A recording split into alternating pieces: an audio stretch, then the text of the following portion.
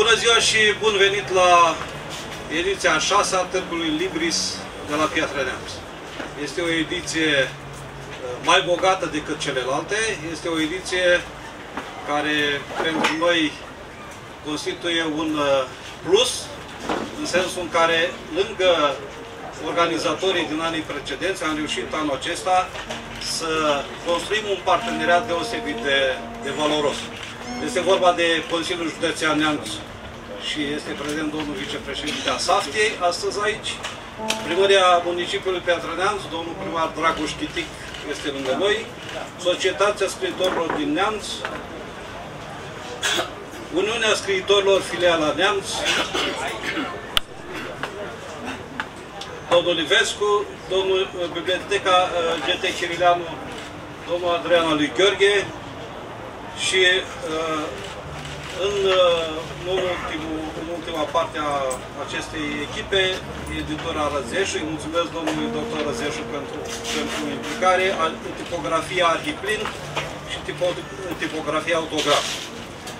Anul acesta participă la Piatra Neamț 32 de edituri din Iași, Bistrița Năsăud, Craiova, Târgoviște, Bacău, Piatra Neamț și Cluj. Uh, am reușit să amenajăm pentru acest uh, festival al cărții la Piatra Neamț o suprafață de 350 de metri pătrați. Se vor lansa 114 cărți, 103 autori, sunt 47 de moderatori în 36 de ore de lansări de carte. Am reușit cu sprijinul dumneavoastră cei din media să facem o publicitate, spunem noi, destul de, de serioasă. Domnul inspector Stan, vă rog, veniți alături de noi, pentru că uh, anul acesta și inspectoratul școlar uh, a contribuit cu un nou concept de, a lansa, a lansa, uh, de lansare a cărții în, în, uh, în câteva licei din Piatra Neamț. De asemenea, tot, ca, tot cu caracter de noutate, anul acesta vor avea, va, se va desfășura un atelier nou.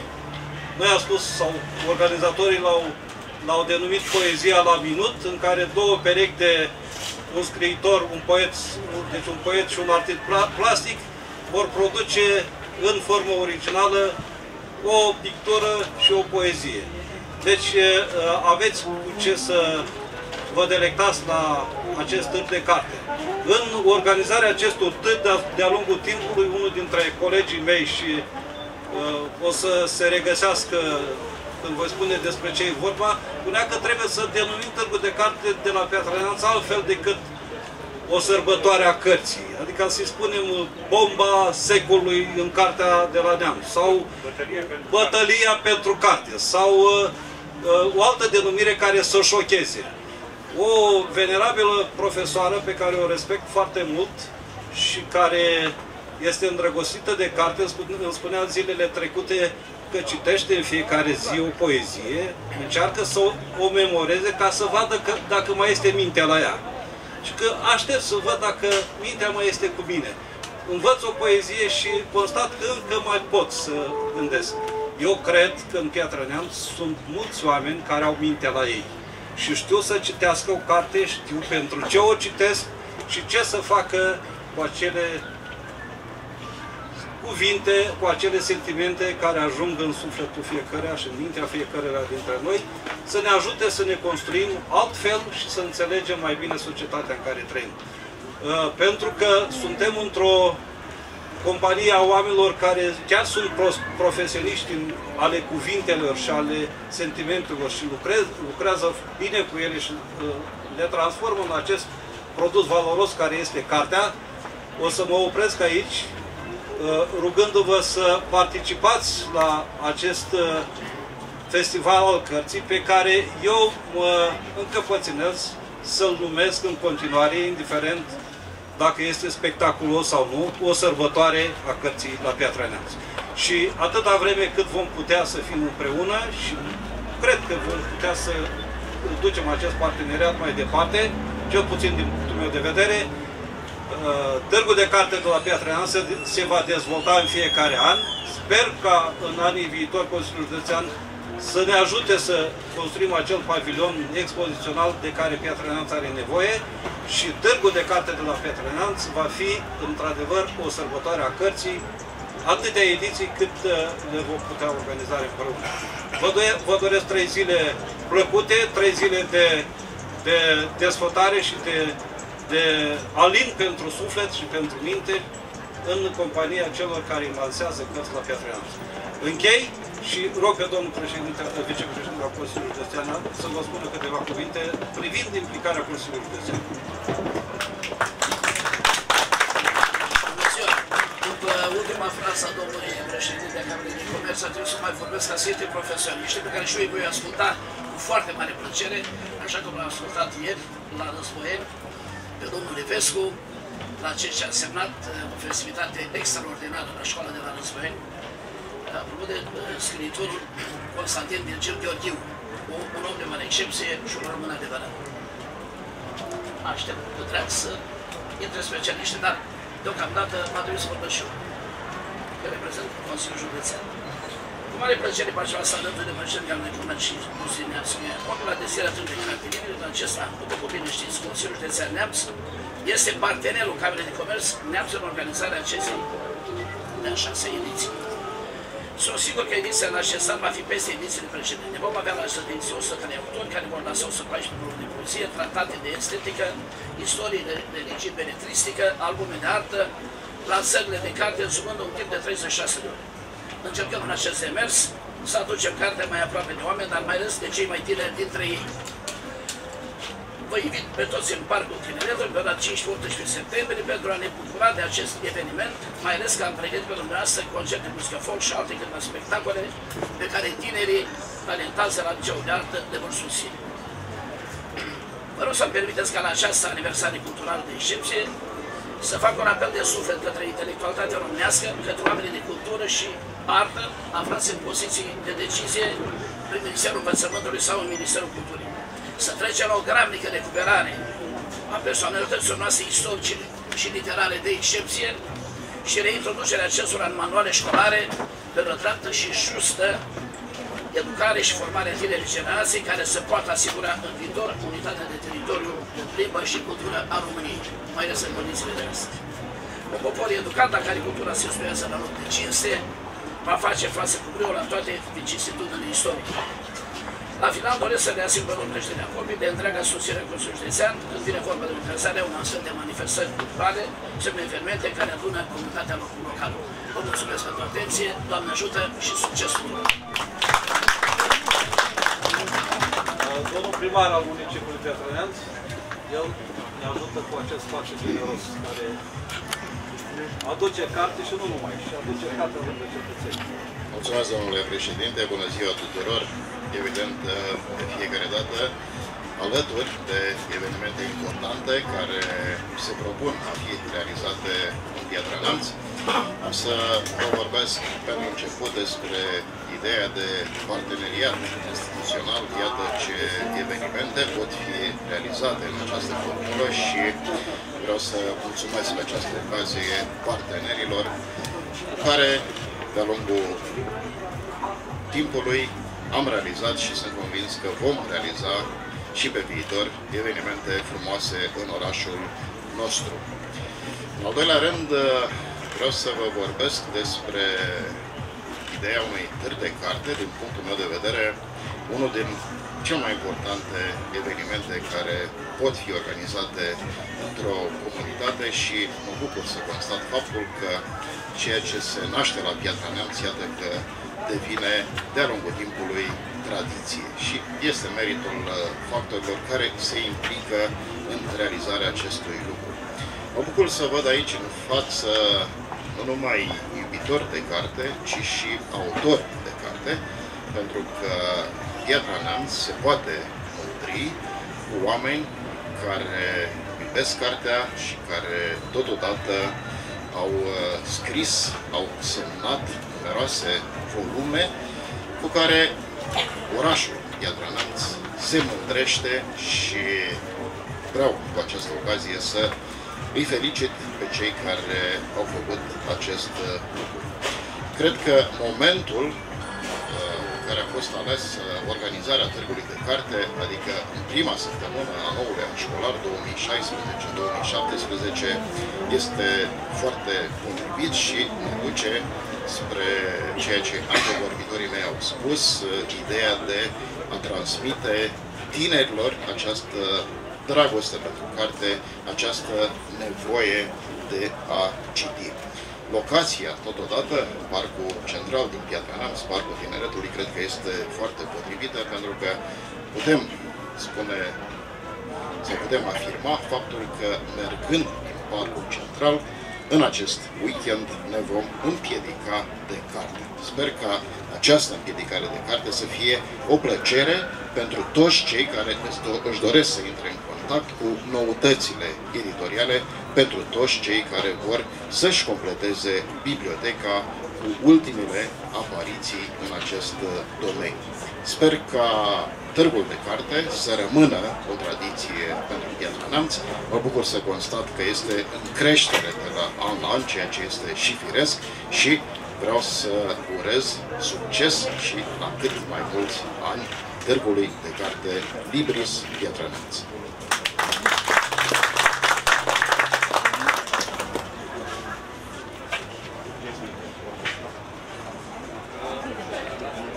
Pentru că este un mai nou membru în acest parteneriat, îl rog pe domnul Stan să spună și dumneavoastră așa cuvânt.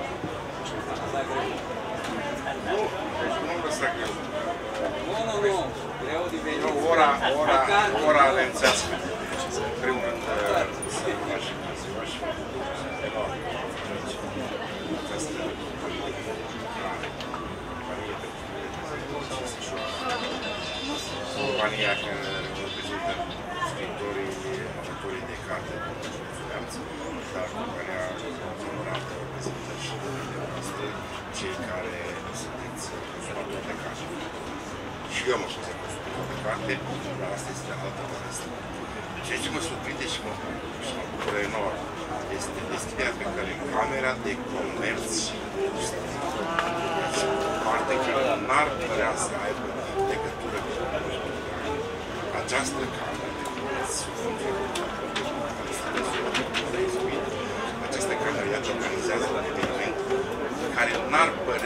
Părea din area ei de activitate. Ziua de carte, în care, iată, autorii și consumatorii de literatură se întâlnesc față în față. Păi, să puteți un text, iată, o deschidere, comunicare, de schimb de idei, neamțul, în activitatea lui, legătură culturală, neamțul fiind locul în care se poate muși o asemenea activitate. În rest, las specialiștilor plăcerea de a vă asigur de tot sprijinul respectiv neamț, noi gândim cu copii mai multe activități cu lansări de carte, întâlniri cu scriitori în comunitățile de învățământ de județ, deci și deschiderea fără discuții care există din totdeauna în inspectoratele de cultură. Stimă și respect deosebit.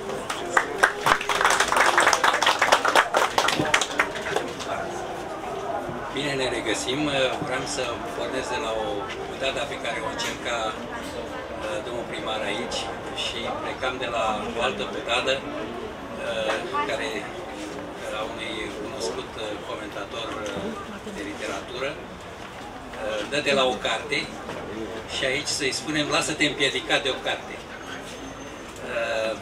Vreau să vă spun că astăzi se împlinesc 100 de ani de la nașterea marelui prozator Constantin Virgil Gheorghiu, chiar astăzi, 15 septembrie. Am pus acest, acest salon de carte, salon de carte și târg de carte, l-am pus sub semnul Constantin Virgil Gheorghiu, ieri l-am comemorat în comuna lui, l-am, să spun, l-am restituit locului natal, s-a dezvelit acolo o placă comemorativă la școala din uh, comună. A fost un moment absolut emoționant și vreau să vă spun că scriitor, l-am simțit pe scriitorul Constantin Virgil Gheorghiu, preotul Constantin Virgil Gheorghiu, cărturarul revenind la el acasă. nu este puțin lucru, cum, se, cum spunea aici domnul vicepreședinte, trebuie să luptăm să readucem valorile la ele acasă, să fie cunoscute mai bine și felul acesta să asigurăm accesul publicului tânăr, mai ales publicul tânăr, să accesul spre carte. Mă bucur foarte mult că este domnul inspector general aici, ca să îi spunem de ideea și inițiativa noastră de, pe care o avem, o susținem de un an și mai bine, aceea ca fiecare copil, fiecare tânăr din școală să-și facă singur o bibliotecă, să-și realizeze singur biblioteca lui. Biblioteca părinților și a bunicilor nu cred că le mai place, că mai este valabilă. Să-i facem să-și facă ei singuri uh, biblioteca lor. Numai așa îi aducem spre carte, spre carte adevărată, spre valorile pe care ei singuri și le selectează din uh, uh, producția curentă de carte. Iarăși vreau să vă spun că pentru, suntem la a șasea ediție, târgul a crescut în fiecare an. De data aceasta, alături de Societatea Scriitorilor din județul Neamț, se află și uh, filiala Iași a Uniunii Scriitorilor, bine reprezentată, filiala Iași a Uniunii Scriitorilor, care începând din acest an va, se va integra acestui uh, conclav pe care îl realizăm pentru Uh, promovarea cărții, este unul din uh, membrii Consiliului de Conducere al, uh, al Uniunii Scriitorilor de la Iași, poetul și directorul editurii Junimea Lucian Vasiliu, pe care îl salut și îl felicit pentru gândul bun de a veni la Piatra Neamț. De asemenea, poate îi dăm și cuvântul, aș fi deosebit de onorat să-l ascult. Lucian Vasiliu este un poet adevărat, un poet autentic și un foarte inimos, foarte inimos editor și realizator de reviste. De asemenea, vreau să vă spun că încercăm, încercăm să aducem la Uniunea Scriitorilor, să-i convingem pe cei din conducerea Uniunii Scriitorilor să descentralizeze uh, inițiativele în așa fel încât reprezentanțele și filialele locale să poată organiza singure proiecte pe cont propriu, în așa fel proiecte proprii în colaborare, cum ar fi acesta, de pildă, stârgul acesta de carte, în așa fel încât să căpătăm oarecare independență de a, de a fi și de a susține, uh, de a susține proiecte adevărate, proiecte bune pentru, uh, locali, pentru uh, comunitățile locale. Iarăși vreau să vă aduc în atenție pe domnul Mihai Caravan, directorul, directorul relațiilor comerciale din cadrul Camerei de Comerț, este omul, ca să zic așa, de, de, de, regie, de regie, omul de regie, dacă pot spune așa, regizorul acestei manifestări. Lui datorăm toată această uh, organizare și vedeți, uh, hai să spunem chiar scenograf, pentru care a realizat o scenografie deosebită. Vedeți, toate, toate uh, instalațiile acestea îi se datorează lui, le-a proiectat anul trecut, anul ăsta le-a perfecționat și cred eu trebuie să-i mulțumim și să-i felicităm pentru tot ceea ce face, pentru că face o treabă deosebită, cum spunea domnul inspector general, iată, Camera de Comerț face și cultură. Și trebuie să facă, cam toată lumea trebuie să facă cultură, toată lumea trebuie să se considere integrată fenomenului cultural și fenomenului literar. Trebuie să vă mai spun iarăși că în acest târg vom avea câteva evenimente deosebite și unul va fi chiar astăzi, începând cu ora 13, când vom lansa pe o, o carte, o carte zic eu foarte bună, o carte excelentă, un roman al lui uh, Adriana lui Gheorghe. Este vorba de Luna Zadar, vă rog să participați la această manifestare.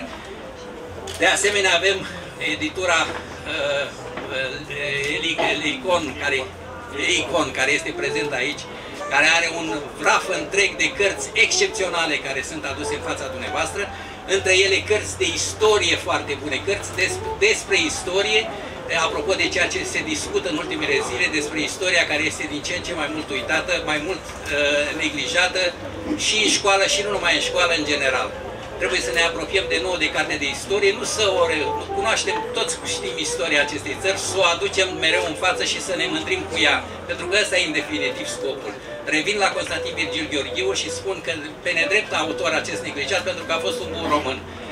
Consider că toți cei care lansează, vor lansa aici, sunt foarte buni români, sunt oameni de adevărați și trebuie să ținem la scriitorii care își consumă din energia și experiența și memoria lor, consumă foarte mult pentru a ne aduce în față litera tipărită, litera de valoare, cărțile de valoare, de poezie, de proză, eseuri și celelalte. Vreau să mulțumesc tuturor celor care au contribuit la realizarea acestui târg.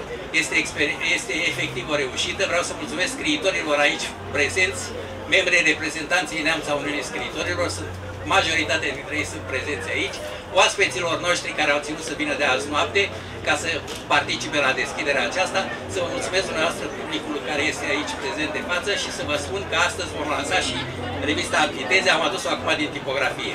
Vă mulțumesc mult de tot!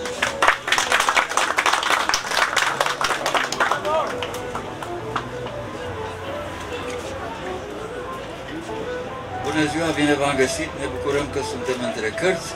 Germanii sunt și nemțeni, nemțenii sunt și germani. Eu aș spune doar un moto. Vom întoarce proverbul tradițional câinii latră, caravana trece.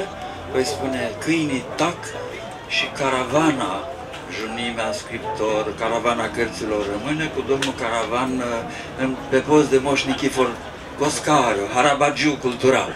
Fiindcă suntem și în formula veche nemțeană, junimistă, Ion Creang, Vasile Conta, mai târziu Calistrat Hogaș și până la contemporanii noștri, Aurel Dumitrașcu Vodă, Laurențiu Ulici, care a onorat foarte mult neamțul pe nemțen, teatrul nemțean, și foarte pe scurt, de, dinspre Iași, practic am revenit uh, acasă printre nemțeni cu Emineșiana, Emineșiana bibliofil, colecții noi, colecții vechi, prieteni vechi, cărți ale nemțenilor la Itura Junimea, proaspete, Adriana lui Gheorghe, Constantin Bostan, Radu Florescu, sper să nu uit pe cineva, cu promisiuni de cărți nemțene, în ghilimele, noi la Junimea pentru ediția viitoare, suntem debutanți, noi, editura Junimea și revista Scriptori din Iași, încât de aceea mă retrag până când nu mă fac de rușine ca debutant în numele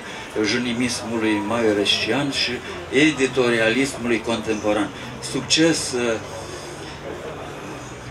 organizatorilor, gratitudine autorităților pe care le-ați votat, le vom vota în continuare gândul cel mai livresc și pentru Cristian Livescu.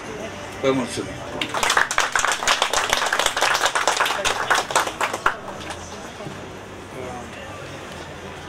În primul rând trebuie să exprim uh, mulțumirile și elogiile din partea bibliotecii, a bibliotecarilor și a cititorilor din Uh, Piatra Neamț pentru scriitorii și editorii și editurile care au venit la, la acest eveniment. Uh, trăim într-o societate de tip mall, în care absolut totul este marfă. Uh, laud Camera de Comerț că ne aduce în față, în acest mod, cel mai vulnerabil lucru, cel mai nobil în același timp, e vorba de carte, într-o într-un eveniment aparte, nuanțez, nu e război al cărții, nu e sărbătoare, e o olimpiadă la care participă editori, scriitori, dar câștigă în final doar cititorii.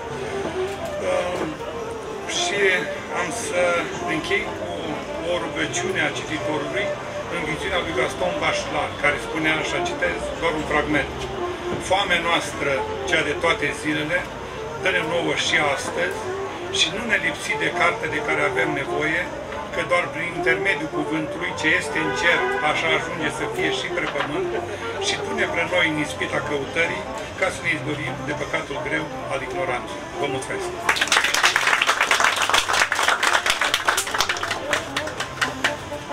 Da, eu vă mulțumesc, mulțumesc tot, tuturor celor care ne-au sprijinit și ne sunt parteneri în acest eveniment. Vă mulțumesc dumneavoastră care ați făcut efortul să veniți astăzi la Piatra Neamț. Tot respectul pentru cei care trudesc pe tărâmul construcției acestei valoroase mărfi, care până la urmă este o marfă, numind acum cartea, este un efort de a pune cuvintele într-o anumită ordine, să pui sentimente, să pun trăiri și ea să ajungă să fie cumpărată, să fie citită și să fie înțeleasă, dacă este posibil. Spunând toate acestea, vă mulțumesc că sunteți alături de noi, că sunteți astăzi aici la această sărbătoare a cărții, la această olimpiadă a cărții, să o numim cum vrem, numai să se întâmple în continuare la Piatra Neamț. Cu aceste spuse, vă rog să-mi permite să declar deschis Târgul de Carte de la Piatra Neamț, acest festival al cărții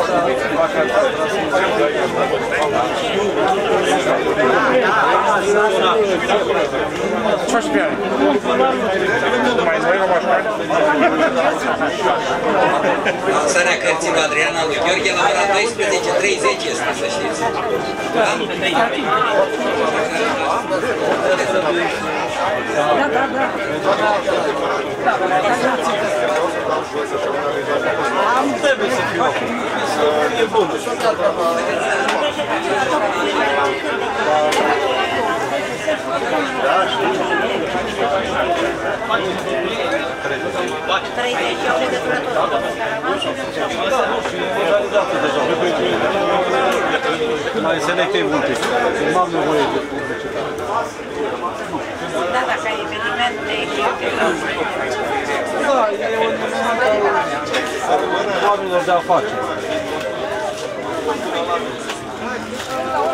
Adoro queijo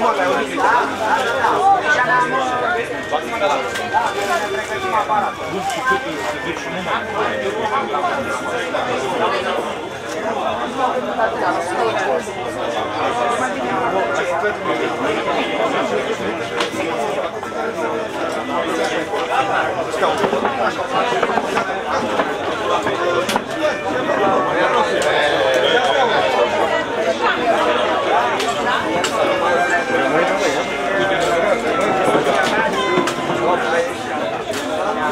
1,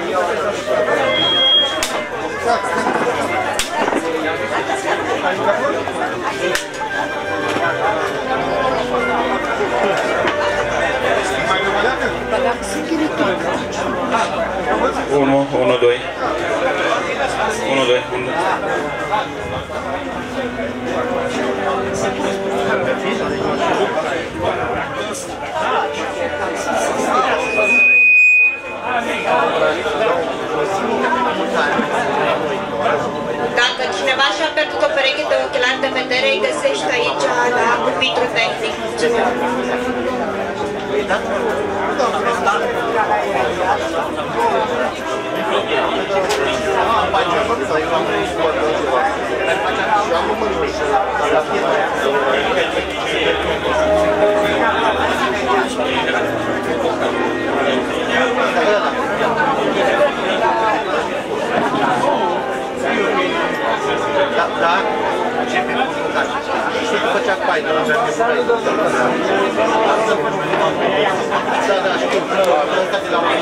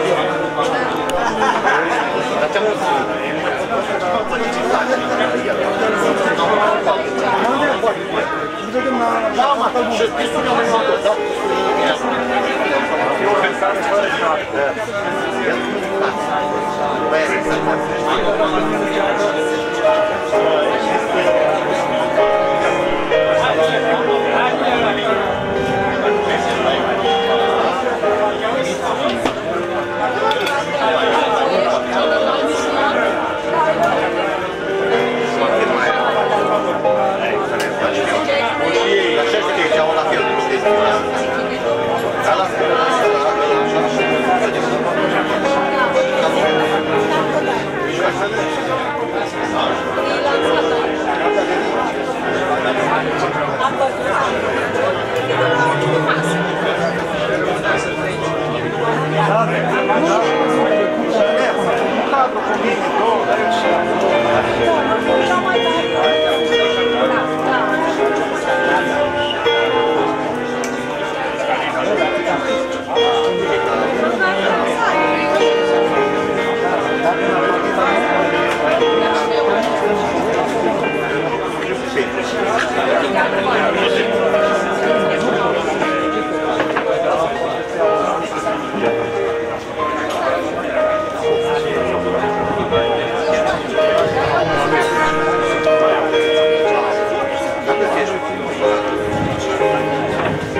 Tá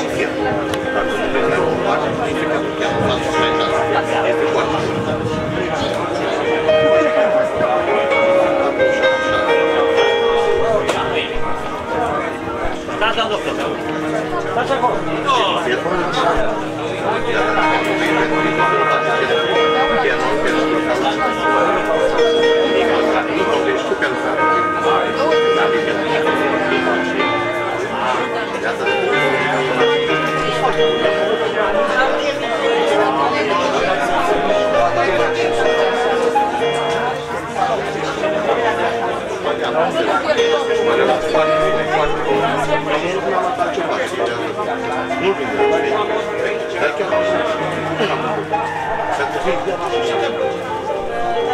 Samba da Laura. Eu tô pensando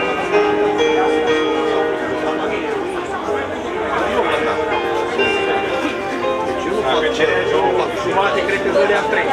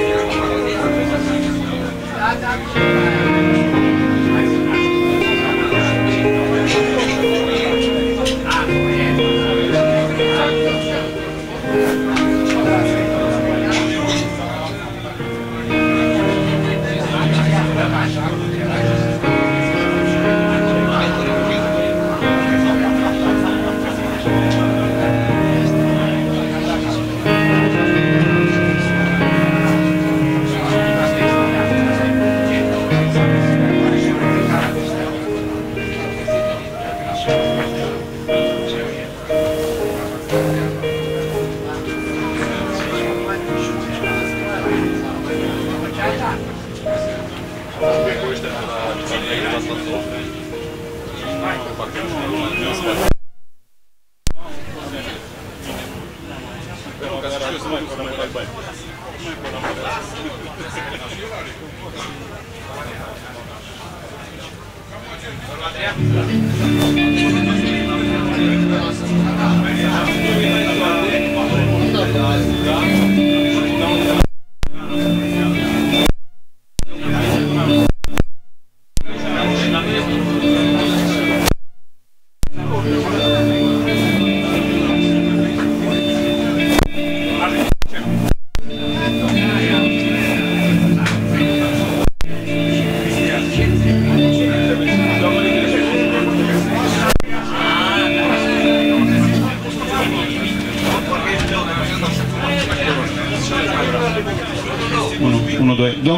Ivescu, domnul Ivescu.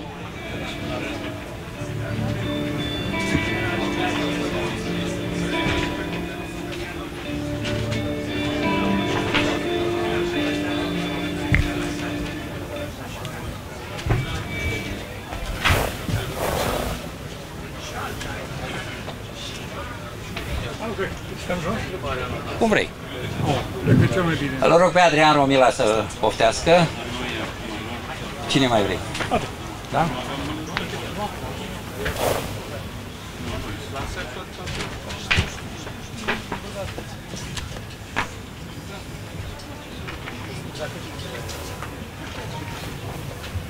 Dragi prieteni, dragi iubitori de carte, iată deschidem în forță, ca să spun așa, Târgul de Carte de la Piatra Neamț, ediția aceasta a șasea, uh, cu o carte surpriză, o carte eveniment, care se intitulează Luna Zadar, semnată de Adrian Alui Gheorghe, autor care, a cărui evoluție eu cunoaștem, i-am urmărit-o cu interes și de fiecare dată a ținut să producă surprize prin scrisul său. Și de data asta nu se dezminte. Cartea sa este, voi ajunge la ea, dar vreau să anticipez spunând că este o carte foarte bună, foarte bine scrisă.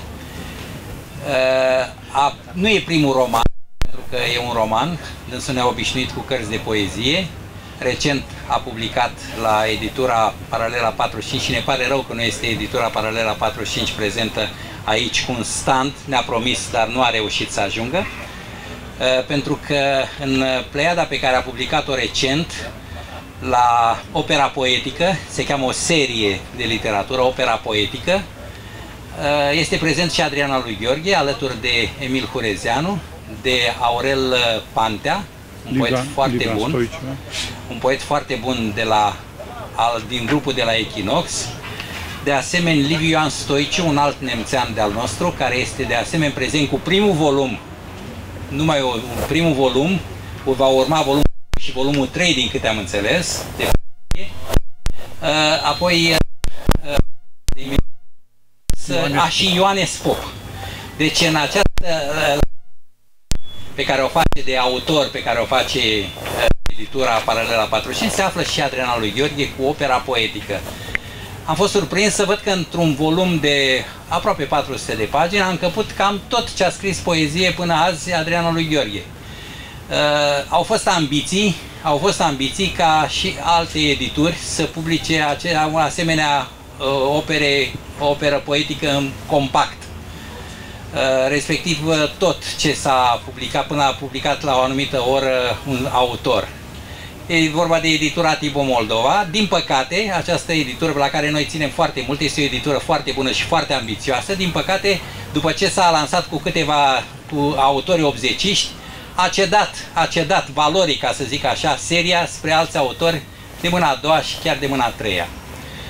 Uh, ceea ce cred că nu se va întâmpla cu seria aceasta de care vă spuneam de la Paralela 45. Vreau să vă spun că e un dublu eveniment pe care l-ar putea trăi Adriana lui Gheorghe împreună cu această carte de la Paralela 45, alături de cartea de proză, acest roman, Luna Zadar, care vine într-un fel după alte câteva romane și eu vreau să vă aduc aminte de un roman care mie mi-a plăcut foarte mult, este vorba de Bătrânul și Marta, Este o carte foarte bună, recitiți-o că este foarte interesantă. Mie mi-a sugerat tot timpul citind-o, de, mi-a sugerat un roman mai puțin cunoscut și mai puțin citit al lui Mircea Eliade, care se cheamă Lumina ce se stinge. Este un roman excepțional de tinerețe al lui Mircea Eliade, un, în care este livrescul se amestecă cu aventura, cu dorința de aventură și de spațiu, de spațiu nelimitat. Cam ce se întâmplă și în cartea asta. Dar în Bătrânul și Marta era această întrepătrundere de livresc, de aventură și de imagine, de, de imagine a sufletului. La o, uh, apropo de alchimiști și de uh, bibliotecă și de uh, lucruri, de, de rarități, de rarități de bibliotecă care la un moment dat dispar cu, odată cu bibliotecile. Îl am lângă mine pe Adrian Geromila, pe care îl invit să spună câteva lucruri despre cartea aceasta, am să spun și eu. Uh, sunt uh, interesat de ceea ce va spune dânsul din două motive. Una pentru că și dânsul a publicat recent câteva volume de proză și în care aventura este foarte bine situată. De asemenea pentru că Adrian Geromila are un balans așa între literatura 90-2000istă, mă refer la proză, pe care o știe, o, a parcurs-o, o cunoaște, și uh, proza uh, obzeciștilor, pentru că obzeciștii, după ce au, uh, au etalat și au consumat energie în poezie, au trecut în frunte cu Mircea Cărtărescu, au trecut la domeniul de Adrian Geromila. Bun găsit! Dacă interioarele lui Adrian lui Gheorghe, Urma și Laica, nu pomenesc acum de bătrânul și Marta, care e mai îndepărtat, um, Urma și Laica erau două microromane, două parabole politice,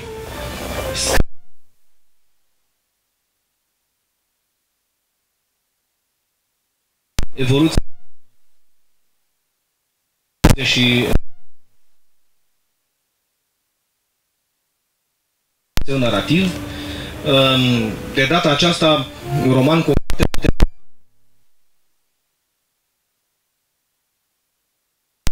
uh, aș spune și tehnica. E un roman despre căutarea tatălui și despre căutarea sinelui. E un roman despre uh, rătăcirea unui picaro printr-o lume devastată de războaie uh, de căutarea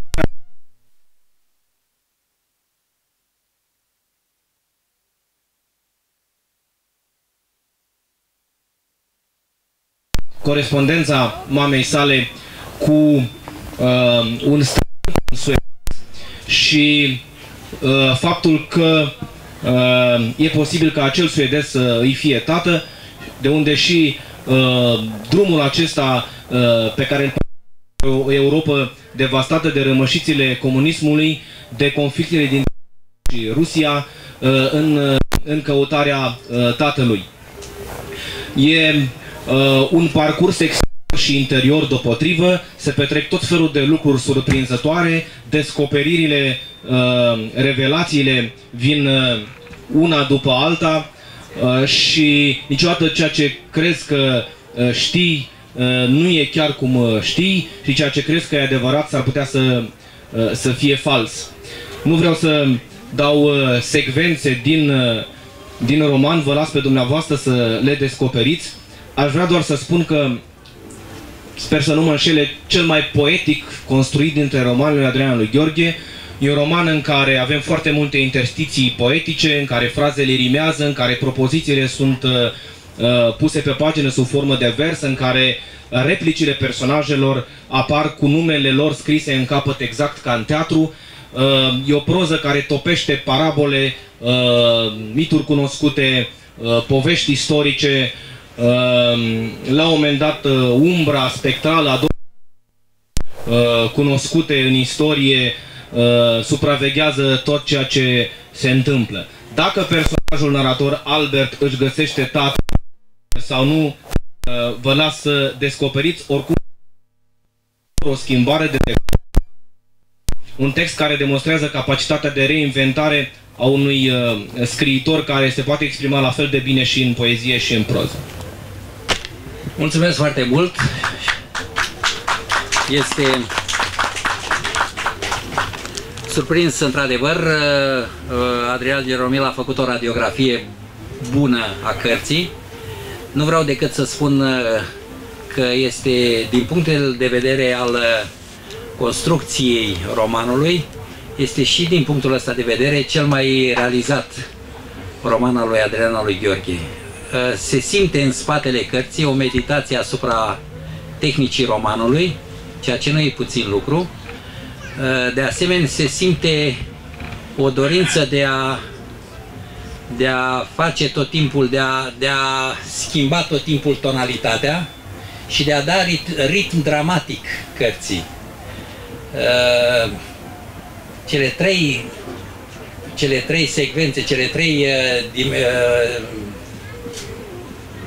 părți, cele trei componente ale romanului Uh, se referă, în primul rând, uh, prima parte la CNSAS, este intrarea în, uh, în atmosfera acestei instituții destul de misterioase pentru unii, odioase pentru alții și în același timp severe și justițiare pentru mulți, pentru că, într-un fel, a făcut dreptate în ceea ce privește moralitatea de după de după Revoluție, n-a reușit să o facă până la capăt și nu va reuși în niciun fel, dar în orice caz atmosfera de acolo este surprinsă în, într-o modalitate de, într-o tehnică de joc, un joc pe care tot, timp, pe care tot timpul autorul narator, deci euul narator, îl face cu cei din jur și cu sine însuși. E un joc interesant aici și un joc chiar stilistic. Sublinia foarte bine Adrian Geromila că ruperile acestea de tonalitate apar tot timpul inserții și tot timpul meditații.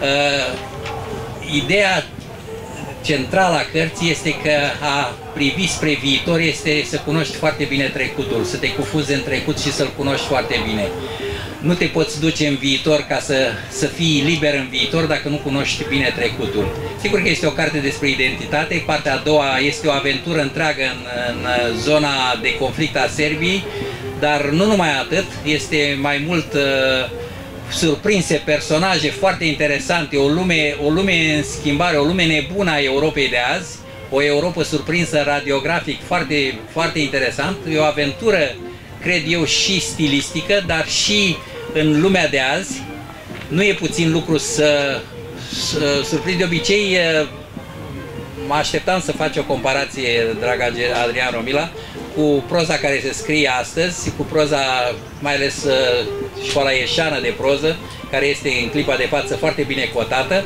și care se referă în mod deosebit la, la, un, la câteva segmente de tineri din lumea de azi.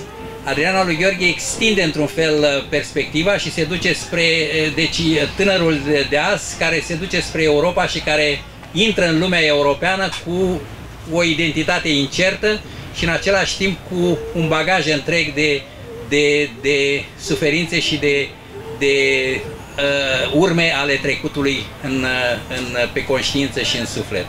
Este uh, un pas înainte pe care îl face, Uh, referitor la, la uh, lumea europeană de azi, care nu este surprinsă deloc în, uh, în lirismul acela obișnuit cu care noi, lirismul cu care în mod obișnuit noi percepem Europa de azi. Suntem de altfel țara care suntem cel mai, susținem cel mai mult europenismul în clipa de față. A rămas cam cei mai, cei mai fundamentaliști în ce privește europenismul. Nu despre asta este vorba, aici este o discuție pe seama Europei de azi și o discuție deschisă care va fi, va fi și după lectura romanului. Vreau să vă spun că am citit cu foarte mare interes și azi noapte am terminat-o cu un gând trist. Nu vă mai spun inserțiile din Kafka, care sunt din Camus, sunt foarte mult apropo de neant și de neantul care vine spre noi și toată filozofia asta a absurdului care sunt uh, uh, cuprinse în roman, iarăși integrat foarte interesant Kafka, a adus Kafka în, în, în viața lumii de azi și personajul care se simte la un moment dat kafkian uh, prin, prin Europa de azi, kafkianul prin Europa de azi. Foarte multe pagini, foarte multe pagini interesante. Vreau să-l felicit pentru această carte. Este o carte și bine construită, zic că e cea mai bine construită dintre toate cărțile lui. Personal, uh, mie urma nu mi-a plăcut, a fost o carte uh, cu o anumită temă, care era o temă uh, ușor depășită. În, în Laica, iarăși, umorul și grotescul este foarte, foarte puternic dar uh, construcția romanului era uh, trecută pe un plan secund. De data asta, construcția romanului trece pe prim plan. Aici este maturitatea unui autor, care, cel care știe să mediteze asupra construcției unui roman. Aici este momentul de maturitate al lui Adrian lui Gheorghe în această carte. Îl felicit sincer pentru reușita lui și spun că uh, este efectiv, începe să, prozatorul Adrian lui Gheorghe începe să le eclipseze pe poetul Adrian lui Gheorghe.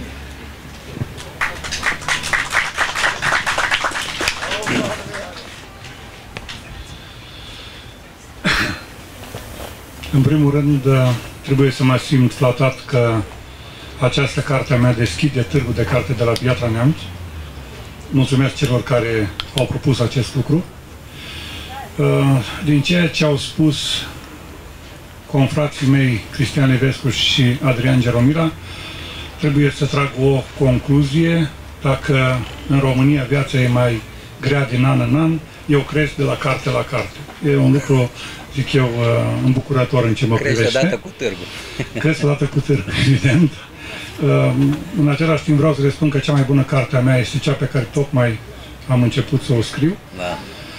Uh, cartea asta am scris-o în câteva luni, începând din noiembrie până prin martie, cred.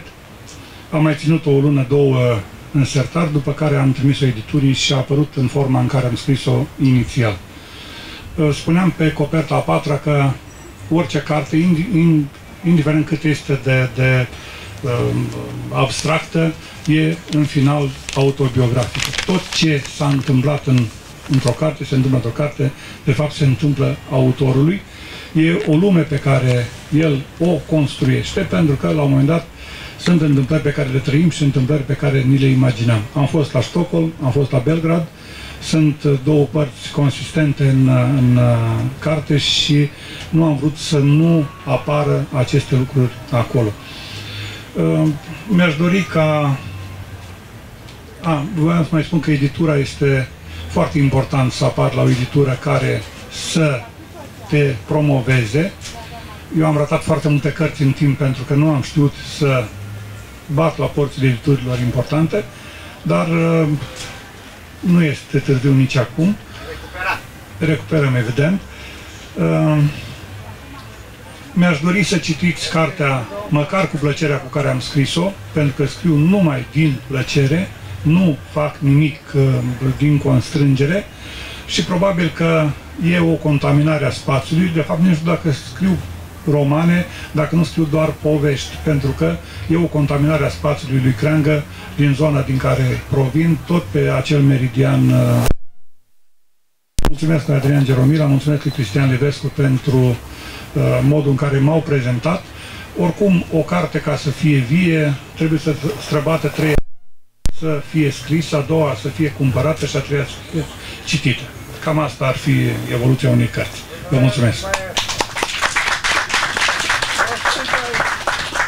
Încă o dată îi mulțumim lui Adrian lui Gheorghe pentru această uvertură înaltă pe care a produs-o și efectiv este un eveniment, vă veți convinge, vreau să vă spun, vă veți convinge de uh, cât de interesantă este cartea lui.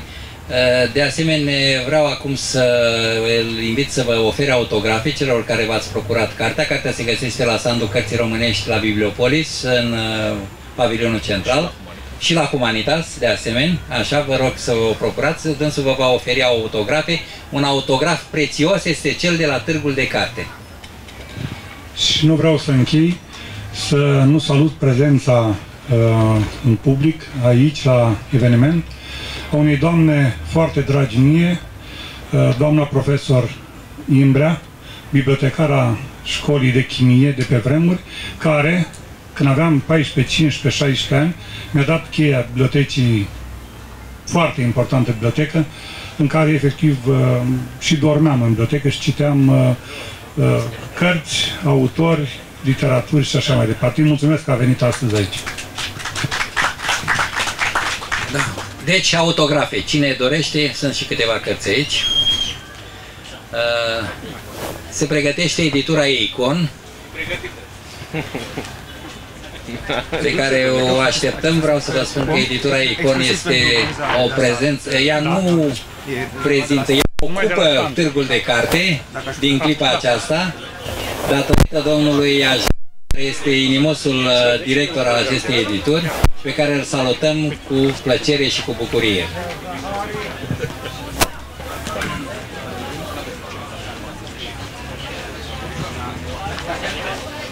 Hare Krishna, Krishna Hare. Asta e apă de băut? Da. Poate fi utilizată? Vă rog. Ar trebui, tu vrei să pleci acum, vrei să fugi. Bravo, efectiv, efectiv e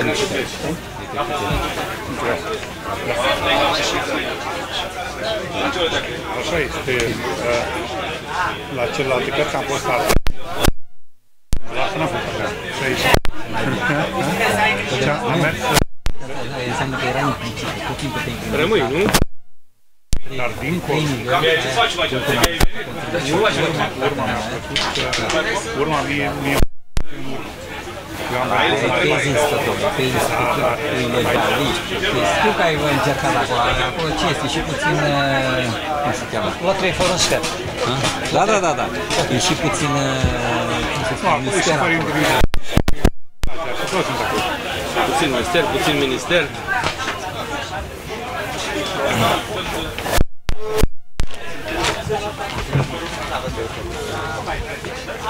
Să rămână? Orice ieșire de șir, nu mai Acum. Oricând. Citești și Deși antiteze. nu sunt timid, nu sunt... Fără, fără, fără de îndoială, așa este. Întotdeauna de asta. Îl lăsăm pe Adrian să spună că el trebuie să fugă. Da, să vorbească prima Adrian că el trebuie să plece la Păi da, asta zic, dacă e să începi. Ce are acum, da? Da, Petru Ursache. Astea sunt așa. Pe lângă. Aia e. Lăsăm două minute. Aia e meseria așa, da? Mai stăm două minute și începem. Da. Cei care, cei care sunt aici, aproape toți au primit examen. Păi asta, Sau ce-au primit? mi-au- Exact. Aproape toți au primit. Toți de la mine. Deci nu trebuie să mă așteptăm să mai vină încă o dată la... Nu, cred. Nu, pentru că le-am dat pe mână. Alo?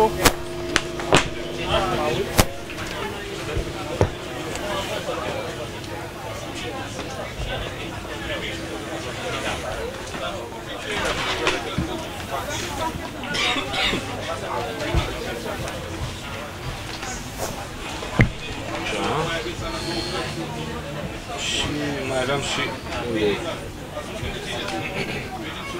Dați încoace că noi toți, noi toți de aici suntem legați de profesorul Ursachi. Știu, tocmai de aia. Datorită lui, eu mi-am dat doctoratul, el și-a dat doctoratul chiar cu el. Ha? Și Adrian. Și Adrian la fel. Și Adrian la fel. Pe Știu. mine m-a îndemnat spre doctorat. El a fost cu ideea, că eu nu aveam niciun gând. El m-a îndemnat. Asta, da, tot așa, dar mă rog, o, o arăți, o răspoiești, o pui la loc, iar la fel. Alea sunt, sunt așa, de, de trecere. Așa. Eicon. A, ai luat lui Adrian? În cortul mare, probabil. Cartea românească. La Bibliopolis sau la Lectura Humanitas? Opa, așa. Îl lăsăm pe Adrian la margine, că el trebuie să fugă. Așa. Asta ce este, domnule? Enciclopedia familiilor nobile mureșene de origine română. Da, carte ce nebunie. făcută cu sânge. Da, Cu sânge. leu, ce aici, da. Vă spun despre ea, e chiar cu sânge făcută. Hai de mine, ce Asta sper să fie de mare Da, succes. da, ia dă puțin ca asta. Mai ales pentru scritorii... Uh, Istoria plagiatelor românești până la 1900. Dar dăm de la unul la altul, n-are rost. Dăm de la unul la altul. Deci Mai complicăm de înseamnă fire că pe aici de cabluri. De... există o, oh, e. Bună ziua! Înseamnă că există Diseară o la- tradiție a plagiatului în România. Există o tradiție a plagiatului în România. Da, există, există. da.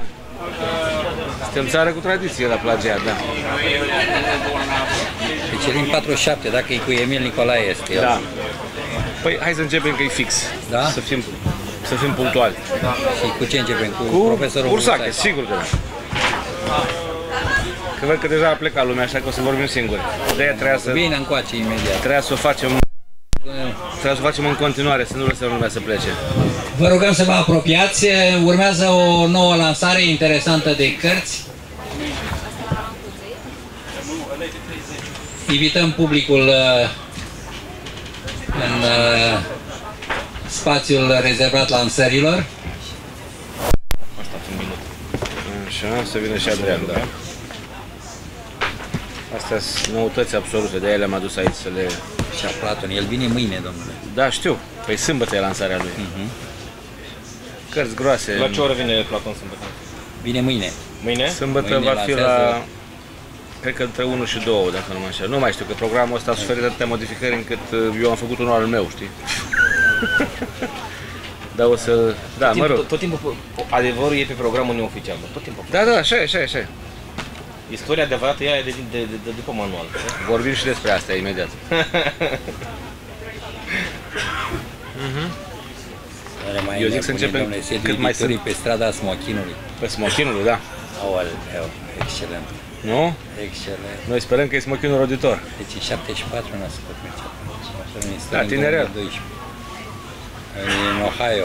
Tinerel, tinerel. Da. Trecem la editura Icon, care ne aduce o primă uh, secvență din uh, cărțile pe care și-a propus să le lanseze la Târgul de Carte de la Piatra Neamț. Editura Icon, condusă de Valentin Ajder, un redutabil editor din țară, din țara românească, un uh, om uh, care ține foarte mult la carte și ține foarte mult la cărțile bune, la cărțile de valoare, scoate cărți de valoare, scoate cărți serioase.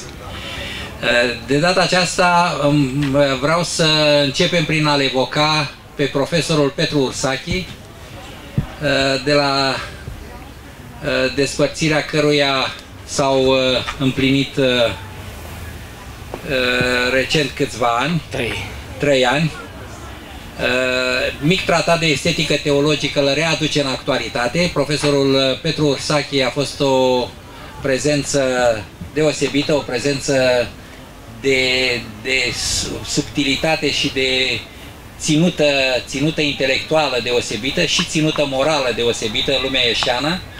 L-am cunoscut cu toți cei prezenți aici la masă, l-am cunoscut și l-am respectat pentru ținuta lui morală deosebită și pentru felul în care, după Revoluție, a, și-a dedicat foarte mult uh, viața, și-a dedicat, pot spune și-a dedicat viața scrisului, uh, cu o ritmicitate deosebită la convorbiri literare mai ales, în revistă, dar în general în presa ieșeană, a fost uh, o- un om care și-a adus contribuția la foarte multe elemente de, de cum să spun, de graniță între științele umaniste, Uh, cum ar fi de pildă teologia și filologia, uh, um, sociologia și uh, literatura, sociologia și religia și toate celelalte și teologia și tot felul de, elemente, de aducere în, apropia, în aproape a științei ce păreau disparate, diferențiate. Uh, am,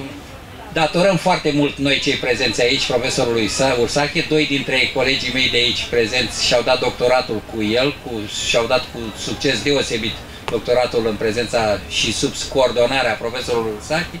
La rândul său m-a îndemnat să produc o teză de doctorat despre Eminescu și îi rămân recunoscător toată viața pentru acest lucru. Și de asemenea vreau să vă spun că ne-a, sfatul lui întotdeauna a contat pentru noi, cei prezenți aici.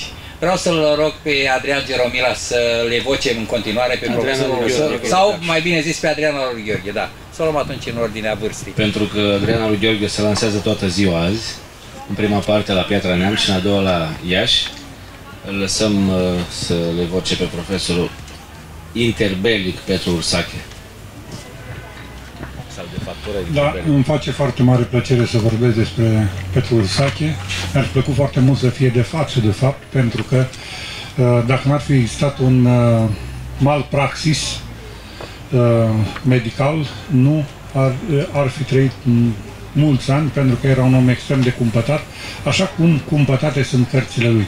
Spunea Cristian Ivescu de faptul că Adrian de Romila și eu mi-am susținut, ne-am susținut doctoratul cu Petru Ursache, dar după părerea mea, cel mai doctor în Petru Ursache și în opera Petru Ursache este Valentin Așder, cel care uh, a coordonat și coordonează o serie uh, Petru Ursache, uh, o demonstrație în fapt că avem de face cu un mare cărturar al epocii noastre, foarte cunoscut, Uh, în, în anumite medii selecte, dar mai puțin cunoscut în mediul, uh, în mediul larg. Uh, ori datorită fapt, editurii Icon, Pedro Saki pătrunde acum și este văzut la adevărata dimensiune. Cred că am ajuns să susțin doctoratul cu Petru Sache pentru că după prima întâlnire, la primul examen Uh, la estetica folclorului, ne-am împrietenit, am rămas prieteni și cred că am dezvoltat acea, uh, acel, uh, acea relație dintre magistru și discipol. A fost un, o relație doctorală, să zic așa, extrem de comodă pentru că mi-a dat voie să fac orice, avea încredere în ceea ce făceam, dar mi-a dirijat, recunosc, o parte dintre lecturile uh, cu aplicabilitate la uh, lucrarea de doctorat.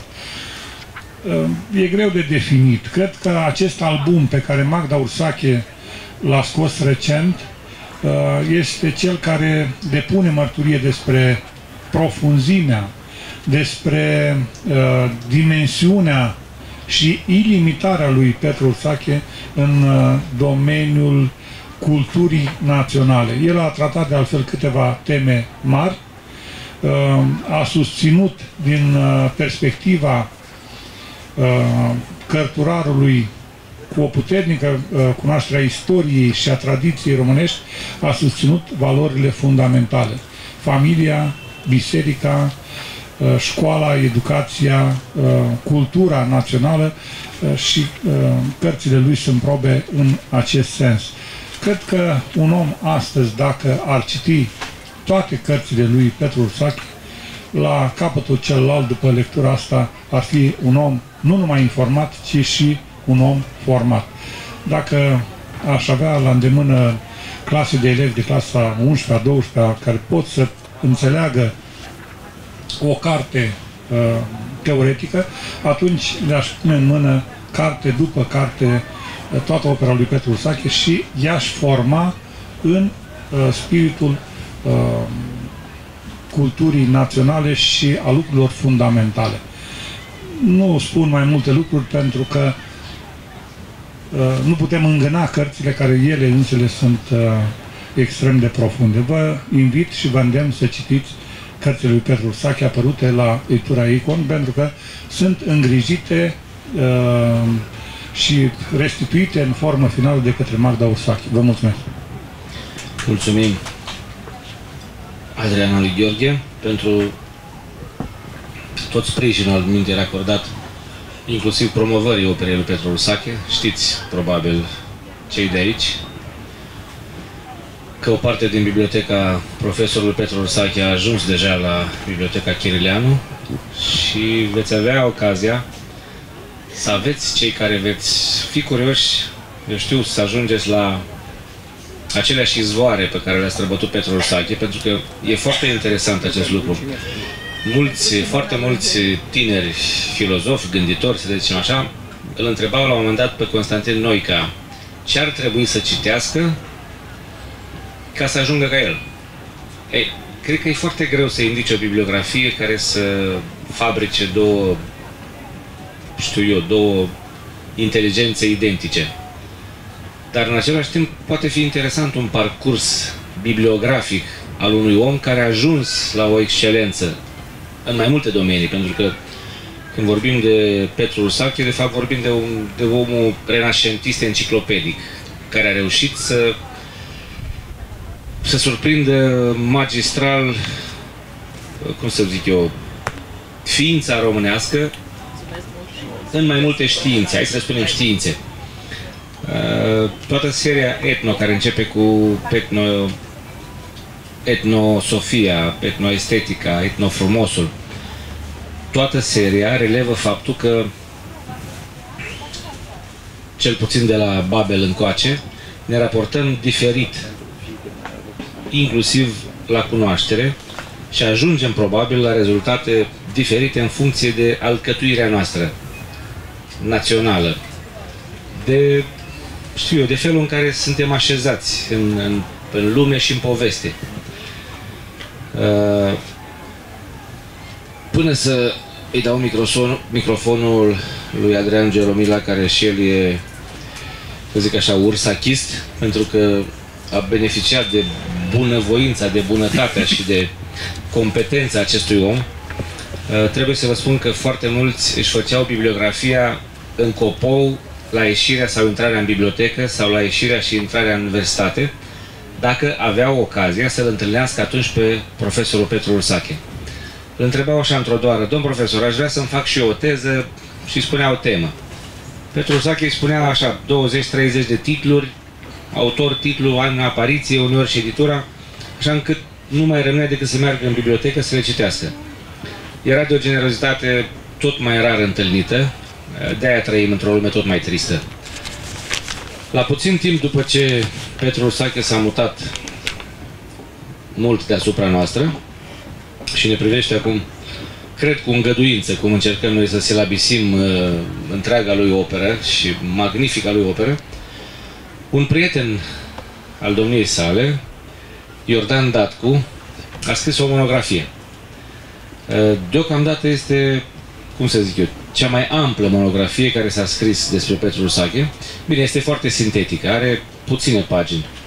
Dacă o raportăm la cartea lui Mihai Gheorghiu, care a scris uh, despre toată opera lui Mircea Eliade, îi mulțumim lui Adrian Gheorghe și dorim drum bun la Iași și telepatic o să participăm și noi la lansarea de la Iași. De mâine îl așteptăm înapoi aici. Mulțumim! Uh, repet, dacă o comparăm cu lucrarea lui Mihai Gheorghiu,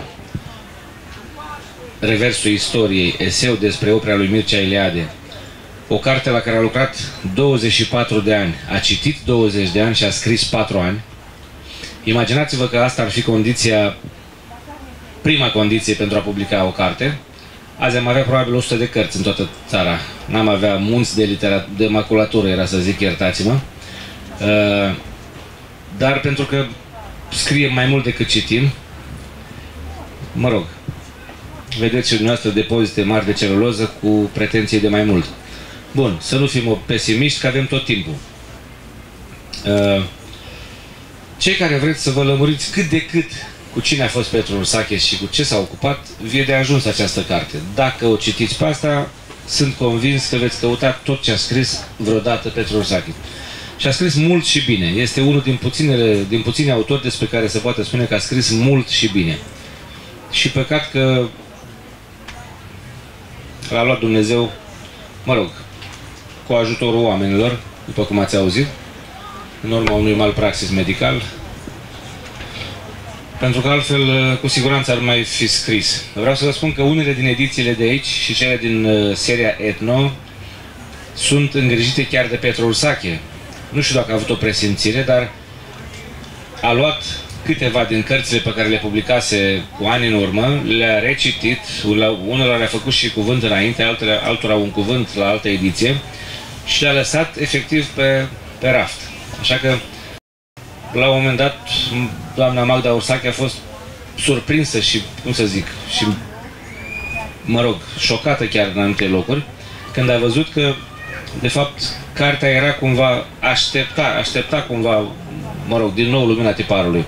Așa cum Albinter, fiind foarte conștiincios și harnic, a predat uh, zeci de articole, inclusiv la convorbiri literare, care apar astăzi ca și cum ar fi scrise de acum. Adică sunt ca și cum ar fi, știu eu, predate cu o săptămână în urmă. Bun, sigur că am putea vorbi măcar o săptămână despre Petru Ursache. Micul tratat de estetică teologică aflat la ediția a doua este o carte singulară deocamdată în cultura română, în toată, în toată cultura română, să zic așa, inclusiv în cultura teologică. Sau dacă ne putem uh, permite, în teologia culturii, pentru că trebuie să existe o teologie a culturii și există. Oamenii, uh, oamenii cu, hai să zicem, cu frica lui Dumnezeu, ca să folosim o sintagmă uzitată, uh, convertesc tot ce ating spre Dumnezeu. Exemple majore în cultura română avem câteva. Unul este uh, monahul de la Rohia, Părintele Steinhardt, care convertindu-se, a convertit toată cultura. Ei, ăsta este modelul Sfinților Părinți. Sfinții Părinți care de fapt erau și cei mai mari gânditori ai vremii. Și cei mai mari filozofi ai vremii, dacă vreți. Adică, mă rog, îi reduceau la tăcere pe cei mai gălăgioși pretinși filozofi ai vremii. Dar ei credeau, ei erau conectați la altă priză. La absolut. Uh, adică făceau și lucrurile lumești, așa, printre altele. Da, trebuie să facem și asta, trebuie să facem și asta și asta, dar grija majoră este continuitatea pe verticală. Uh, da. Adrian Geromila. și pentru mine e, ca și pentru Adrian lui Gheorghe, ca și pentru Cristian Livescu, e o datorie de onoare să vorbim despre Petru Ursache. Am putea să vorbim ceasuri întregi despre relația pe care am avut-o cu distinsul universitar Ieșan. Cărțile care se află pe masa de la Eicon vorbesc despre anvergura uh, intelectuală și morală a acestui adevărat cărturar uh, al uh, Iașului. Eu am să vorbesc despre tratatul de estetică teologică, um, pentru a înțelege de ce această carte este singulară în cultura română, așa cum a spus uh, Valentina Ajder, vreau să vă spun că nu există în cultura mondială un tratat de estetică teologică. Adică o carte care să abordeze uh, ambele domenii, să încerce să le unească și să privească, să-l privească pe unul prin celălalt frumosul divin, obiectul teologiei, esteticii teologice, e abordat de Sfinții Părinți uh, doar tangențial într-un text care e general dogmatic, dar nu centrat pe frumos. Există eseuri despre estetica teologică la uh, uh, autorii ruși din exil. Evdokimov, Berdiaev, Loschi, Uspensky, uh, Florensky, Schmemann, am dat doar, uh, doar câteva nume, cei care uh, care știu uh, teologia ortodoxă a exilului rus știu la ce, la ce mă refer. Ei bine, Petru Ursache a îndrăznit să alcătuiască un mic tratat de estetică teologică, adică o carte care să abordeze și frumosul artistic și frumosul divin în perspectiva aceasta a teologiei. De fapt, e perspectiva platoniciană care leagă fizica de metafizică, natura de teologie și privește creația și operele oamenilor prin, prin, lumina, uh, prin lumina divinității. E o carte care se mișcă pe ambele domenii cu foarte mare ușurătate, dar foarte riguros, uh, foarte aplicat, uh, jonglând și cu conceptele estetice și cu conceptele teologiei. Ni se vorbește și despre sublim, frumos, operă, simetria, decorum, tragic, comic, categorii care sunt dintotdeauna au fost categorii estetice, dar în același timp ele sunt atrase, aduse înspre mântuire, păcat, milă, extaz, uh, mântuire, concepte care sunt ale, uh, ale teologiei. Nu e foarte ușor să, să lucrez cu ambele domenii, mai ales că ele sunt destul de bine precizate. Dar ați auzit și mai înainte, Petru Ursache, un maestru al domeniilor de graniță, uh, el a scris o carte de etno-estetică, a scris o carte de etno-sofie, Uh, și iată o carte de etnoteologie în uh, cele din urmă. E o carte care tratează estetica din perspectivă ortodoxă, trebuie să recunoaștem lucrul acesta. Cartea e scrisă în perspectiva patristică a creștinismului răsăritean, cu foarte puține intrări în teologia de tip occidental, de tip catolic. Um, Petru Ursache chiar face această delimitare între două feluri de a vedea frumosul în Occident și în Orient, în catolicism și în ortodoxie, spunând că, de pildă, catolicismul lucrează cu lumina clară, lucrează cu concepte și cu ordine, pe când ortodoxia lucrează cu lumina lină, un concept luat din vecerne ortodoxă, adică cu o perspectivă în care Dumnezeu se coboară în lume și urcă înapoi trăgând lumea după el, pe când în perspectivă occidentală Dumnezeu se coboară în lume și se arată în ordine rămânând acolo.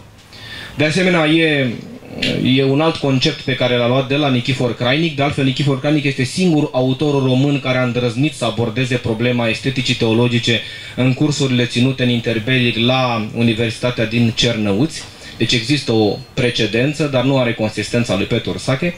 Așadar, un concept luat și extins de Petor Sache de la Nichifor Crainic e conceptul de teandrie, de la Teos și Andros, Dumnezeu și om, cele două fire ale lui Isus, care uh, lucrează, se manifestă și în frumosul artistic.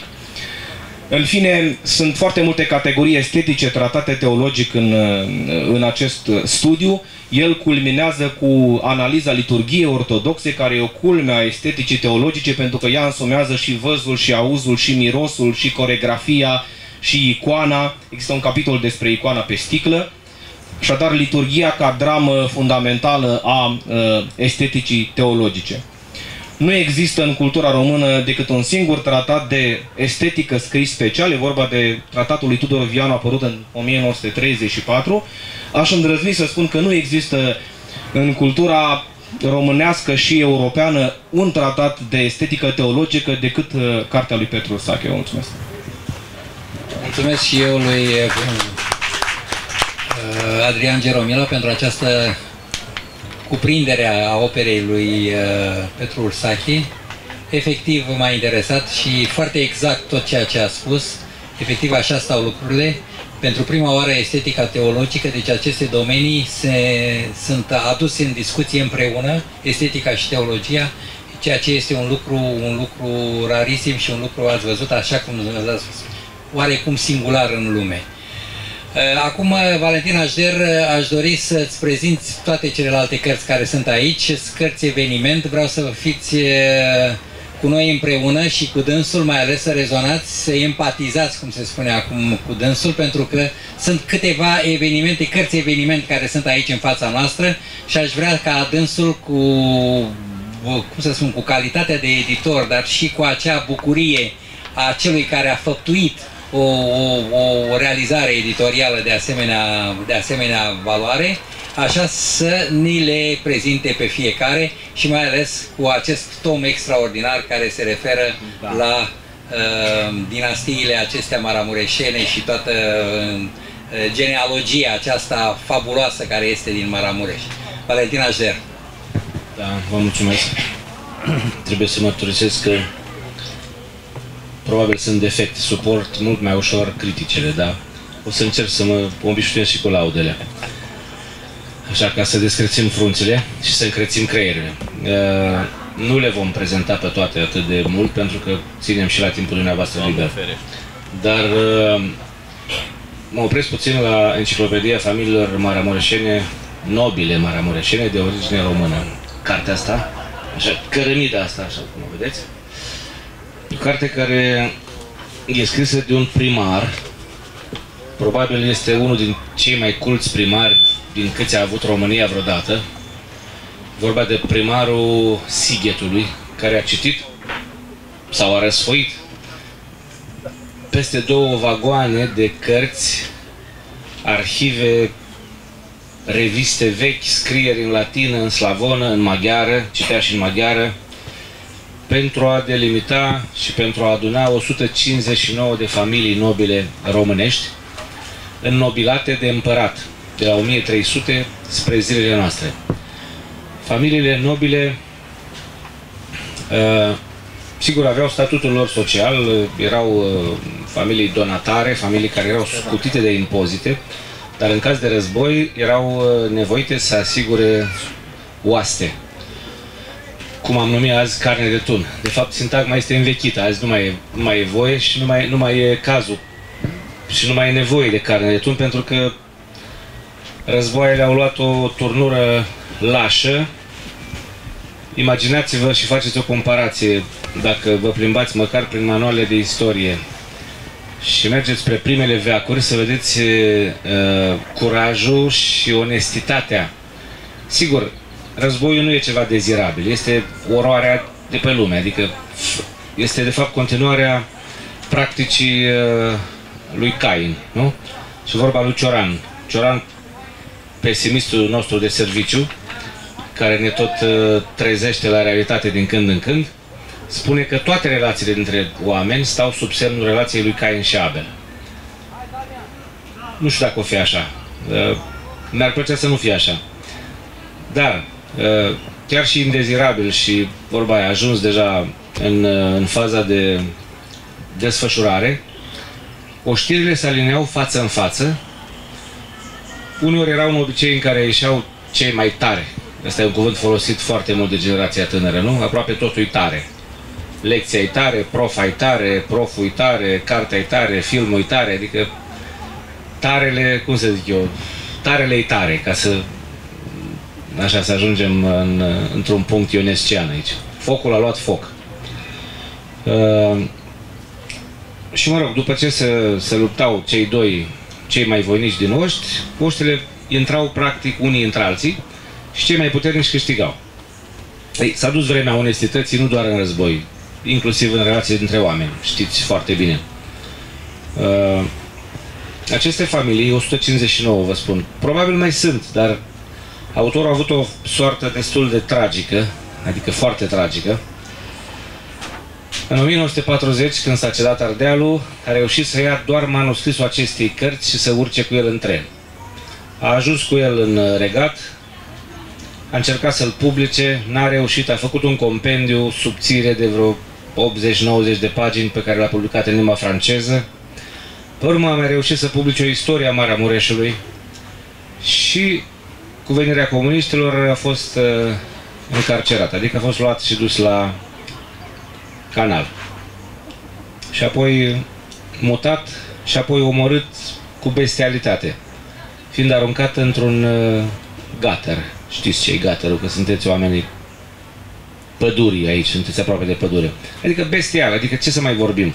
Uh, comunismul probabil este, nu probabil, sigur este singurul regim politic care și-a anulat, și-a anihilat, și-a omorât și-a distrus adversarul.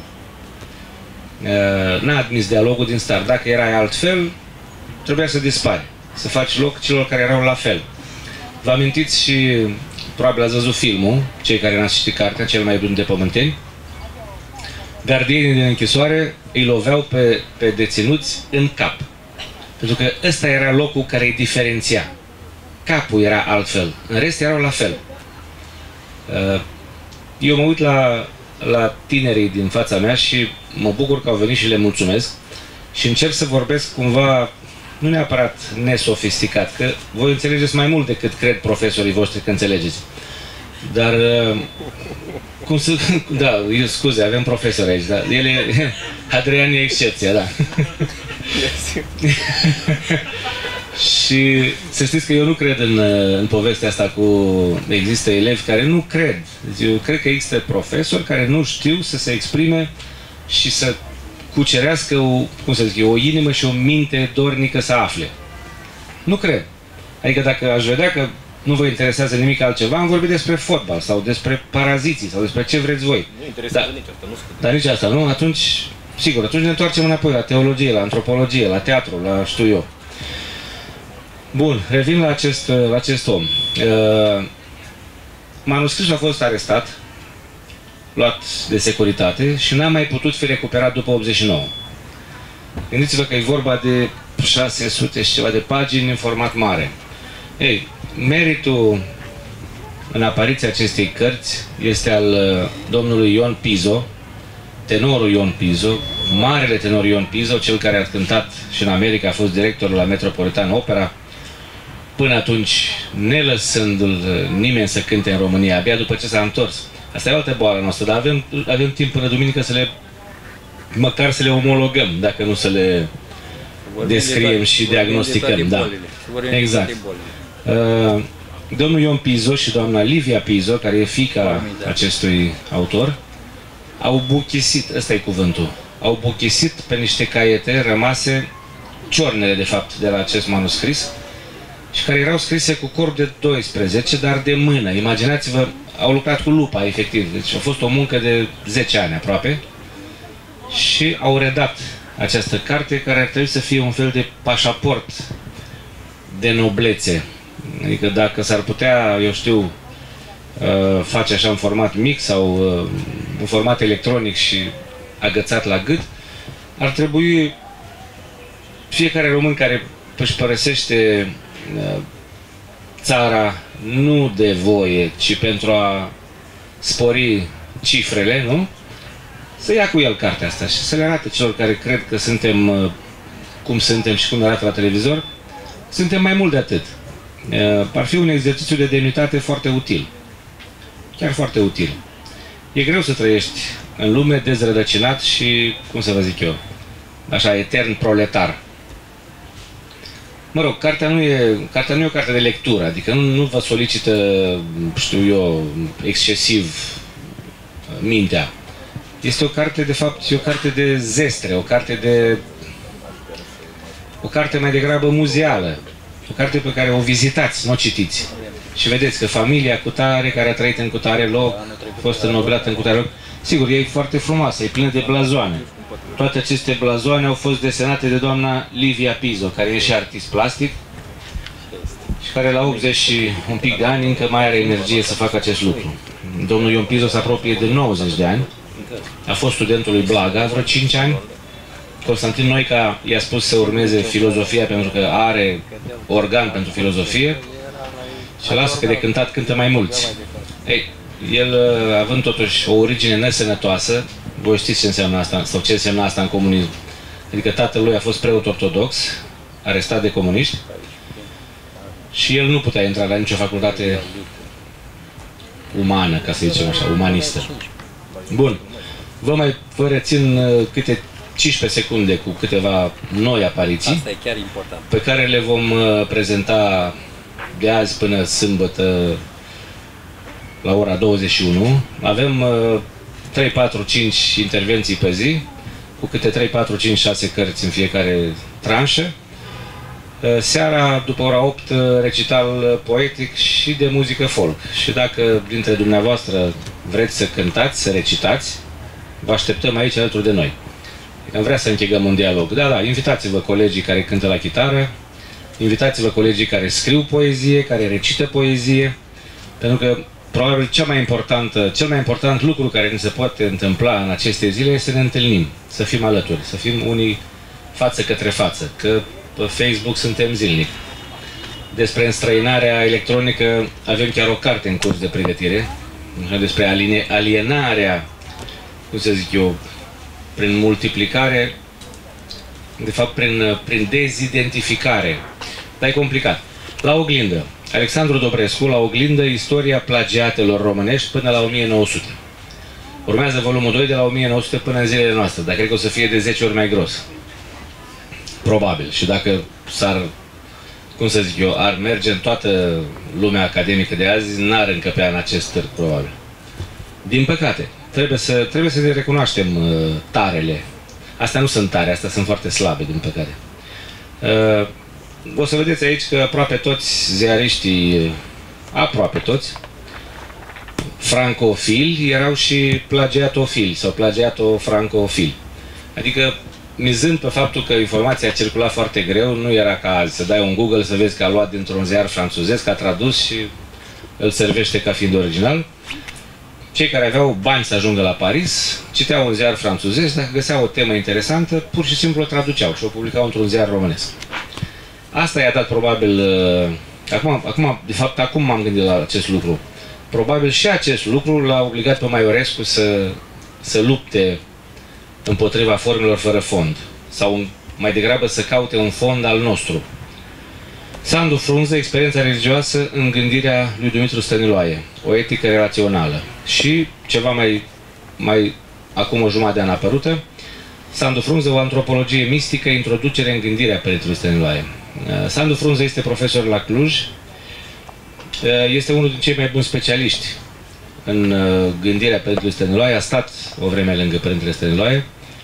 Acum, fiind profesor de filozofie, se ocupă și de alte lucruri, predă inclusiv filozofia religiei, are, cred, în jur de 8 sau 9 cărți, dar uh, am, uh, am insistat să reedităm aceste două cărți pentru că m-am uitat și n-am văzut altele mai sintetice despre Părintele Stăniloae.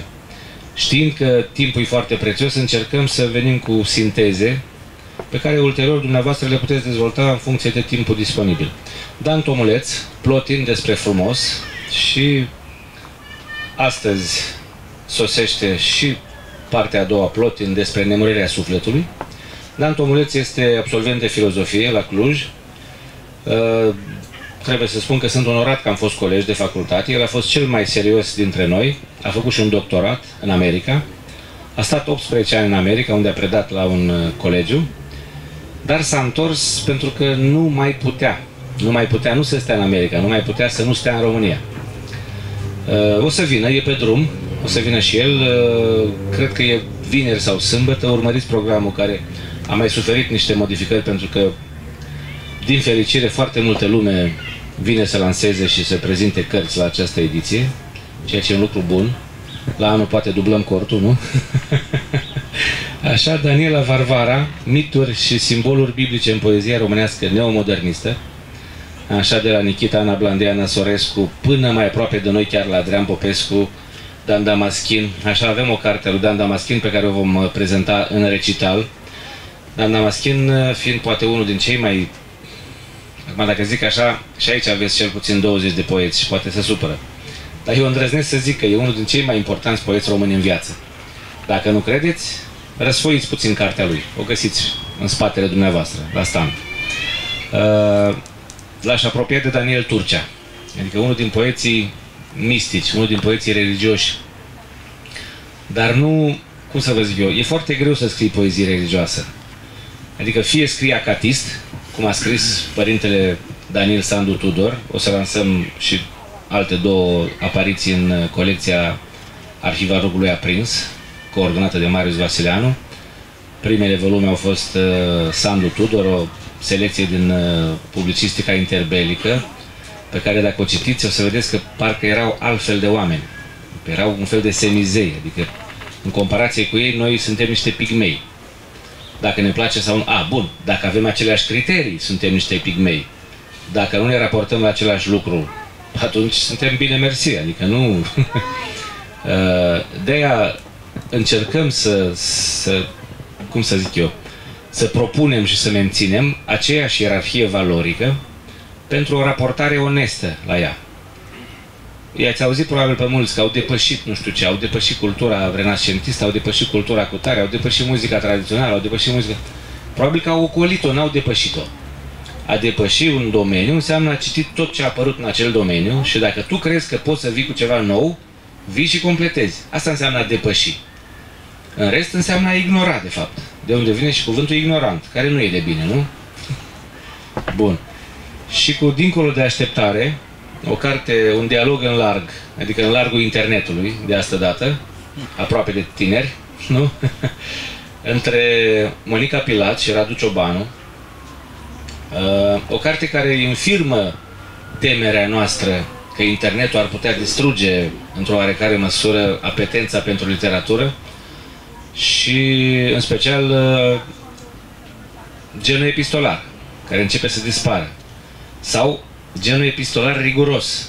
Adică atunci când scriam scrisori de hârtie, cei trecuți de 20 de ani sau de 30 sau de 40 știu ce însemna să iei o foaie de hârtie și să începi să scrii și dacă greșeai cumva o codiță la o literă, o mototoleai și începe alta, să nu te faci de râs. Ori azi se, se butonează pe bucățile de plastic, nu? Pe o bucată de tastatură să scrie, mă rog, nu mai vorbesc de limbajul, V, B, M, T, N, nu știu ce, da? Și nu mai zic de altele. Uh, codat, cifrat, uh, minimalist, uh, adică scriem minimalist, trăim minimalist. Scriem larg, integru, trăim larg, frumos și integru. Ei, deși e scris pe internet, păstrează parfumul unei, cum să zic eu, unei corespondențe de hârtie. Cartea a atras atenția domnului Nicolae Manolescu, care chiar a scris o amplă recenzie în România Literară, lucru care ne bucură. și pentru care îi mulțumim și public. Și cu asta cred că ar trebui să ne, să ne rotunjim. Dacă vreți să răsfoiți cărțile aflate pe masă, le găsiți acolo în spatele dumneavoastră. Urmăriți programul, peste o oră probabil iar suntem aici, peste încă o oră până pe la 3 jumate iar suntem aici, diseară de la ora 19.30 până la ora 21 vom prezenta alte probabil 14 de la ora titluri. 14 mai e o serie. La 14, de la 14 mai e o serie, bineînțeles. Facem o scurtă pauză și ne revedem aici. Eu vreau. Și repet, repet uh, invitația pentru diseară. Dacă aveți prieteni, dacă vă place să recitați, nu e nimic, merge și fără microfon, da? Așa, merge și fără microfon. Dacă vă place să recitați, să citiți, să cântați, în fiecare seară, de la ora 8, o să avem recitaluri poetice și cu chitară. Mulțumesc foarte mult! Mulțumesc, Valentin Ajder. Uh, Încă vreau să insist asupra cărții acesteia foarte interesante al lui Alexandru Dobrescu la oglindă. Este, ne confirmă faptul că la români plagiatul are tradiție. Pornește de la cronicar, dar ce m-a surprins, uh, numai cât am răsfoit uh, cartea, este pus pe două coloane, tot, tot materialul e pus pe două coloane, foarte interesant. Da. În al doilea rând că poeții au furat și ei cât au putut din la alții. Nu numai atât, dramaturgii, Vasile Alexandria a luat și el cât a putut de la alții și tot așa prezentați pe două coloane. Foarte ingenios și foarte adevărat. Uh, Ce este interesant că și Eminescu, pe Eminescu l-au luat, l-au furat mulți, au luat uh, din textele lui, iarăși Coșbuc este și el un campion al uh, luatului de la alții, dar uh, ceea ce aduce, uh, Dobrescu este un filolog de elită și știe să comenteze, comentariile lui sunt extraordinar de frumoase și de adevărate, și de adevărate.